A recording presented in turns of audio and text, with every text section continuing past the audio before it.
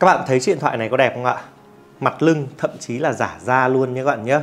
Đấy, và một cái hộp phụ kiện thì trông rất là trẻ trung, cá tính đúng không ạ? Và các bạn đoán xem chiếc điện thoại này sẽ có mức giá bao nhiêu ạ? Chiếc điện thoại này mức giá rất là rẻ luôn đấy. Như mình tham khảo tại Cellphone S thì à, nó chỉ có mức giá là 3 triệu 790 nghìn đồng. Tất nhiên đấy là giá niêm yết thôi, chứ chúng ta sẽ còn nhận được thêm rất là nhiều quà nữa nếu mà chúng ta thanh toán qua VNPay hay là thanh toán qua các thẻ tín dụng chẳng hạn, kiểu kiểu như thế. Và chào mừng các bạn đã quay trở lại với kênh YouTube Dương Dê. Đây là Poco M5, một chiếc điện thoại mà mình đánh giá là có một cái thiết kế là là là tương đối là bắt mắt đấy.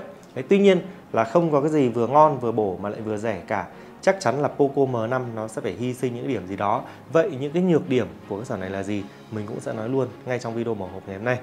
Rồi, mình sẽ bỏ cái chiếc điện thoại khá là đẹp mắt này qua bên cái đã nhé. Để xem xem là bên trong hộp của nó sẽ có những cái gì nào. Hộp thì vẫn là cái tông màu vàng đen thôi này thôi. Đấy, thực ra là Poco và Realme các bạn thấy có giống nhau không ạ? Khá là giống đúng nào. Đây bên trong này chúng ta sẽ có que chọc sim này, chúng ta sẽ có sách hướng dẫn sử dụng này và chúng ta sẽ có một cái ốp lưng dẻo trong suốt như thế này vừa chống va đập chống xước các thứ được tốt hơn Đấy, và cũng giữ lại được cái màu sắc của cái mặt lưng ở bên trong này chúng ta sẽ có những gì nữa nào chúng ta sẽ có một cái sợi cáp chắc chắn phải là chuẩn USB Type C rồi ở đây liệu có tai nghe không thôi không có rồi không có không có. Đúng rồi. Và chúng ta sẽ có một củ sạc. Củ sạc này thì à, sẽ có dòng ra tối đa là 22,5W Đấy, tuy nhiên là như mình tìm hiểu thì cái Poco M5 này nó chỉ hỗ trợ sạc nhanh tối đa là 18W thì phải. Đấy nhưng mà Xiaomi bao giờ cũng thế mà. Những cái củ sạc như này họ tặng kèm nó khá là thoải mái và cái chiếc điện thoại của chúng ta thì cũng sẽ có luôn một cái miếng dán màn hình có sẵn ở bên ngoài như này nhá. Nghĩa là chúng ta mua máy về là không cần phải mua thêm bất kỳ một cái phụ kiện nào cả. Đấy bây giờ mình sẽ thử uh, lắp qua cái ốp lưng vào để cho các bạn thấy xem là nếu mà lắp ốp lưng vào thì nó sẽ như thế nào nhá. Đây các bạn nhìn này đấy lắp ốp lưng vào thì nó sẽ như thế này. Đấy các bạn nhìn thấy không ạ? Và phía dưới này thì uh, cái cổng sạc này được che đi như này này. Đấy ấn vào đây cũng được cũng hợp lý nhỉ? Đấy, nhưng mà với mình ý, thì uh, mình sẽ cắt cái này đi bởi vì là cái mỗi lần sạc mình phải bóc cái này ra thì mình cảm thấy nó rất là khó chịu đúng không ạ? Đấy nhưng mà cái ờ, cái này thì sẽ dành những bạn nào mà thích cẩn thận để cái này vào thì nó sẽ đỡ bị bụi cái phần cổng sạc này. Ok bây giờ thì mình sẽ ờ, bóc cái nắp lưng này nhá. Bỏ phụ kiện qua một bên để nó chi tiết hơn về cái chiếc điện thoại Poco M5 này nhé Quay trở lại với Poco M5 thì cái điều đầu tiên khi mình cầm cái sầm này trên tay đó là nó khá là đầm tay khối lượng của nó sẽ rơi vào khoảng 2 lạng và độ dày sẽ rơi vào khoảng 8,9 mm các bạn có thể nhìn thấy là với cái cách thiết kế mặt lưng giả da như thế này thì à, chúng ta sờ vào chúng ta sẽ cảm thấy thứ nhất là rất là mềm tay thứ hai nữa cầm vào thì nó cũng khá là chắc chắn bởi vì nó bám tay nữa mà. Và cái thứ ba nữa đó là nó không để lại mồ hôi và dấu vân tay ở cái phần da này nhé các bạn nhé. Nên là trong cái quá trình mà chúng ta sử dụng ấy, thì uh, chúng ta sẽ cảm thấy rất là sạch sẽ. Đấy, cái phần này chỉ là giả da thôi. Uh, nếu mà ừ, để cho bạn thấy được rõ ràng hơn ấy, thì chúng ta sẽ chỉ cần chạm vào cái chỗ cái phần bóng này này đấy là chúng ta đã có thể thấy là rất là nhiều các cái dấu vân tay đã để lên trên này rồi. Đấy các bạn nhìn thấy không ạ? Đấy, vậy nên là đây cũng là cái ờ, phần mà chúng ta cần phải chú ý tới. Và cái phần này cũng sẽ rất là dễ xước nha các bạn nhé. Cái này chỉ bằng nhựa thôi nha các bạn nhé. Và cái phần khung viền này thì nó cũng chỉ bằng nhựa mà thôi. Đấy tuy nhiên là ví dụ như khi mà mình cầm ấy, thì phần lớn mình cầm cái điện thoại như này chả mấy khi mình cầm điện thoại nó cao lên đến, đến tận đây nên là mình cũng không quá lo lắng đến việc là nó bị xước hay là nó bị bám vân tay không. Đấy tuy nhiên là mình nghĩ là có cái ốp lưng đi kèm ấy, thì 10 người thì chắc là phải đến 9 người chúng ta sẽ sử dụng ốp lưng rồi. Còn những người còn lại thì có thể là chúng ta thích cái vẻ đẹp của mặt lưng này chúng ta không thích dùng ốp lưng chúng ta dùng trần cũng được. Đấy kiểu như thế. Bây giờ thì uh, mình sẽ nói về các cái phần ở trên cái uh, thân máy của cái dòng này thì nó sẽ như nào. Ở phía bên cạnh trái chúng ta sẽ có một cái khay để chứa hai sim và một thẻ nhớ rất thoải mái luôn. Nghĩa là nếu mà sau này bộ nhớ trong tối thiểu là 64 GB mà nó có đầy thì chúng ta cũng không cần phải hy sinh bất kỳ một cái khay sim nào cả. Đấy, phía bên cạnh phải chúng ta sẽ có phím nguồn kiêm luôn cảm biến bàn tay một chạm tốc độ rất nhạy luôn nha các bạn nhé và chúng ta sẽ có cả phím tăng giảm lượng ở đây. Đấy, cái cảm biến bàn tay một chạm này thì nó sử dụng ví dụ với cái, ngón trỏ này của mình nhá thì cái tiết diện nó rất là bé đúng không nào? Đấy, tuy nhiên là chạm vào phát nó vẫn ăn ngay. Đấy, ngoài ra nữa thì nó cũng sẽ có nhận diện khuôn mặt à, uh, 2D ở đây nữa này. Đấy, bạn nhìn thấy không ạ?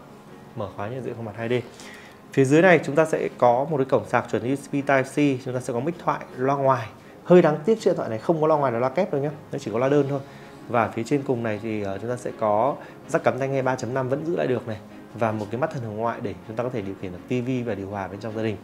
Đấy, phía trên này thì cái loa thoại này thì, thì nó sẽ không bao gồm loa ngoài đâu. Cái form thiết kế ở mặt sau đẹp bao nhiêu thì cái mặt trước này thì mình thấy là nó lại lỗi thời bấy nhiêu. Bởi vì là cái form thiết kế mặt trước này các bạn có thể thấy là cái thiết kế màn hình thì là màn hình giọt nước rồi. Đây cũng là cái thiết kế màn hình cũng khá là cũ. Và cái phần miền dưới này thì ờ, nó cũng tương đối dày các bạn nhìn thấy không ạ? Đấy thì cái mặt trước này mình thấy là nó không được đẹp. Đấy mặt sau đẹp bao nhiêu thì mặt trước này nó bình thường bấy nhiêu. Tiện thể nói về mặt trước này thì mình sẽ nói về màn hình luôn. Chiếc điện thoại này sẽ ờ, sở hữu màn hình với kích thước là 6,58 inch độ phân giải sẽ là Full HD cộng 2408 nhân với cả 1080 pixel. Tỷ lệ màn hình là 20 chia cho 9 cho một cái mật độ làm ảnh rơi vào khoảng 401 ppi. 401 ppi thì về cơ bản là mình thấy là sắc nét rồi đấy màn hình này thì sẽ có tần số quét là 90 Hz cũng tương đối là mượt mà đấy. Tuy nhiên là những nhược điểm của màn hình này là gì? Thứ nhất, đấy là với tấm nền IPS LCD thì độ sáng của dòng này nó không được cao. Độ sáng nó sẽ chỉ rơi khoảng ờ, 500 nit thôi. Tuy nhiên là khi mà mình nhìn ở bên trong phòng này, nếu mà những cái ánh điện mà nó quá sáng thì bạn sẽ nhìn thấy là cái màn hình này nó sẽ rất là tối đúng không ạ? Và cái màn hình này thì khi mà ra ngoài trời nắng gắt ý, thì chắc chắn là bạn sẽ cảm thấy khó nhìn rồi. Đấy và đây sẽ là một cái điểm trừ của nó. Cái điểm trừ tiếp theo của sản này đó là cái kính cường lực được trang bị ở trên sản này nó chỉ là kính cường lực 3 thôi. Kính cường lực 3 thì cách đây phải gọi là rất rất lâu rồi mấy năm rồi. Bây giờ thì người ta dùng ví dụ như cao cấp thì người ta đã dùng đến Victor cộng rồi hay là à, tầm trung giá rẻ thì người ta cũng phải sử dụng đến kính cường lực 5 hay kính cường lực 6 chứ mấy ai bây giờ còn sử dụng cái cường lực 3 nữa đúng không nào? Thì sau này vẫn có kính cường lực 3 nói về hiệu năng thì sao? Chiếc điện thoại của chúng ta sẽ sở hữu con chip Helio G99 được sản xuất ở trên tiến trình 6 nanomet. Về về tiến trình sản xuất là ổn ở trong cái tầm giá này nhé điểm doanh Du cho ra cũng thuộc dạng ổn ở trong cái tầm giá này đấy. 306.000 điểm. Nó sẽ có các phiên bản RAM ROM khác nhau. Đấy là 464, 4128 và 6128 UFS nghĩa là ừ, thể đọc ghi bộ nhớ trong đấy nó sẽ là 2.2 nhé thì cũng ở mức độ cơ bản thôi đấy nó không phải là quá nhanh nhưng đây đã là bộ nhớ trong đọc ghi tốc độ cao rồi đấy. Về cụm camera ở phía sau thì các bạn có thể nhìn thấy là chúng ta sẽ có ba cái camera như thế này. Đấy, một camera chính có độ phân giải là 50 chấm khẩu độ led 1.8 và chúng ta sẽ có thêm hai cái camera nữa uh, là đều là hai chấm khẩu độ f 2.4 một cái là hỗ trợ cho việc chuẩn xóa phông và một cái là macro. Như vậy là hai cái camera bổ trợ để mình coi đó như kiểu là hai camera trang trí thôi bởi vì nó cũng không có tác dụng thực tiễn nhiều chúng ta cũng ít khi dùng tới. Còn cái camera mà chúng ta hay dùng ấy đấy là camera góc siêu rộng thì sỏ này lại không có. Đấy là cái điểm mà mình rất là chê ở trên sỏ này. Đấy, đèn flash thì ở đây. Và cái cách thiết kế theo cái kiểu là cụm camera kéo dài khắp mặt lưng như này thì là cái cách thiết kế chung của Poco trong một vài năm trở lại đây rồi. Đấy, cái cách thiết kế này mình nhớ không lầm là học hỏi từ ờ, những sản phẩm Nokia ngày xưa ấy, Nokia 808 thì phải. Ok chúng ta sẽ nói tiếp nào. Camera trước thì sẽ là 5 megapixel nhé cũng thuộc dạng đủ để chúng ta có thể gọi điện video call hay là chụp ảnh selfie trong điều kiện đủ sáng thôi. Chứ nếu mà thiếu sáng hay ngược sáng thì chắc chắn là sẽ sẽ không không ổn đâu. Đấy, nhưng mà được cái là sau này có Bluetooth 5.3 thì phải. Nếu mà như thế thì là Bluetooth rất là mới đấy. Còn về pin thì sẽ là 5.000 mAh là một viên pin ở mức độ đủ trâu rồi. Hỗ trợ sạc nhanh 18W và sạc đi kèm sẽ là 22,5W bây giờ thì mình sẽ vào trong phần cài đặt để xem xem là cái uh, phần mềm nó sẽ như thế nào nhé hiện tại thì đang là phiên bản MIUI 13.0.2 tất nhiên chúng ta đang có thêm một cái phiên bản cập nhật phần mềm nữa. Android thì sẽ là Android 12 rồi cũng là cái Android khá là mới rồi. RAM thì chúng ta sẽ được mở rộng thêm một GB RAM nữa nhé 4 cộng 1 bằng 5 như bạn nhé đấy tất cả thông tin này có trong này hết rồi.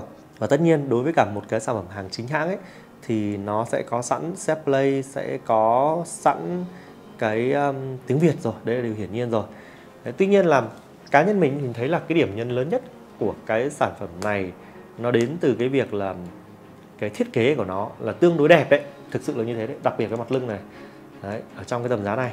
Đấy, tuy nhiên là nếu mà so với cả Redmi Note 11 ấy, thì mình đánh giá là là không được bằng đâu. Đấy chắc là nó sẽ chỉ hơn ở mỗi cái thiết kế thôi chứ còn cái màn hình của nó thì không đẹp bằng này. Đấy, không phải là AMOLED này đúng không ạ? Cái phần camera của nó thì lại không có góc rộng này. Pin thì ok vẫn như thế thôi nhưng mà cái um, cái cái phần uh, sạc thì lại chỉ có 18W lại không bằng 33W của Redmi Note 11 đấy kiểu kiểu như thế. Và nó cũng không có loa ngoài là loa kép cũng không kháng nước kháng bụi như là Redmi Note 11 còn về hiệu năng ấy thì uh, con chip Hello G99 này admin Kha sẽ phải có một cái video test game để xem xem là con chip này nó như thế nào. Và so nó với cả Redmi Note 11 thì nó sẽ thể hiện ra sao. Đấy thì admin Kha sẽ có những bài test game như vậy. Ok các bạn cảm thấy sao về chiếc điện thoại này? Hãy để lại comment cho mình biết nhé và các bạn có thể tham khảo qua giá bán của chiếc điện thoại này à, tại Cellphone.net qua đường link mà mình đã để phía dưới phần ghim comment cũng như là phần mô tả của video này để có được mức giá tốt nhất. Còn bây giờ thì xin chào và hẹn gặp lại. Bye bye.